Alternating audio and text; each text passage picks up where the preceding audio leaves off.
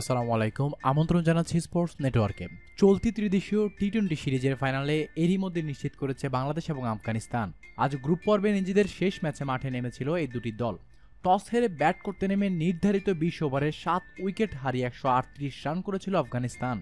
একশো উনচল্লিশ রানের লক্ষ্যে ব্যাট করতে নেমে শুরুতে উইকেট হারিয়েছে বাংলাদেশ দল। মন্থর গতিতে শুরু করেছিল বাংলাদেশ।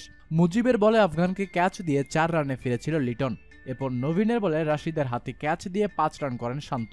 শান্তর বিদায়ের পর দলের হাল ধরেছেন সাকিব মুশফিক, কিন্তু সেই জুটিতে আঘাত হানেন করিম। তার বলে শফিকের হাতে ক্যাচ দিয়ে ছাব্বিশ রান করে ফিরেছেন মুশফিক। মুশফিকের পর রাশিদ খানের বলে বোল্ড হয়ে ছয় রান করেছেন মাহমুদুল্লাহ রিয়াদ। নাবিনের বলে গুরবাজের হাতে তালুবন্দি হয়ে যান এক রান করার আগে সাব্বির রহমান। অন্যদিকে দুর্দান্ত ব্যাটিংয়ে চৌত্রিশ বলে ষাটটি চারে হাফ সেঞ্চুরি করেছিলেন সাকিব, কিন্তু রশিদের বলে বোল্ড হয়ে ফিরেছেন আফিফ হোসেন।